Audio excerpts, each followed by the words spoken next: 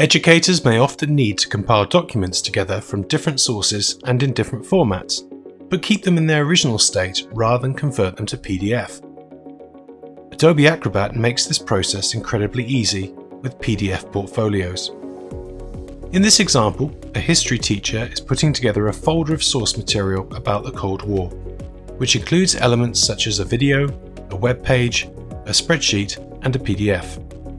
They want their students to be able to extract the files from the portfolio if they need to use them in their work.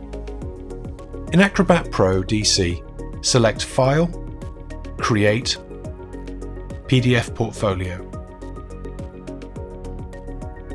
Add in all the files you want into your portfolio.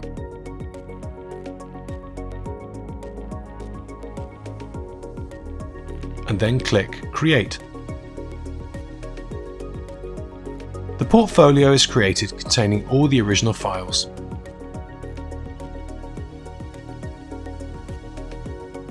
Each element can be extracted from the portfolio if required.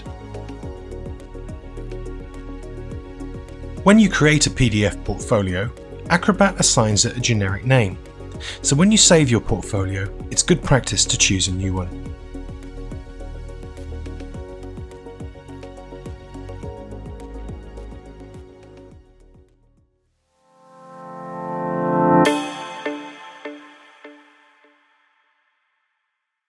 Whether you're using Acrobat DC on its own or as part of Adobe Creative Cloud, you've got the tools to enhance your students' reading and transform your classroom.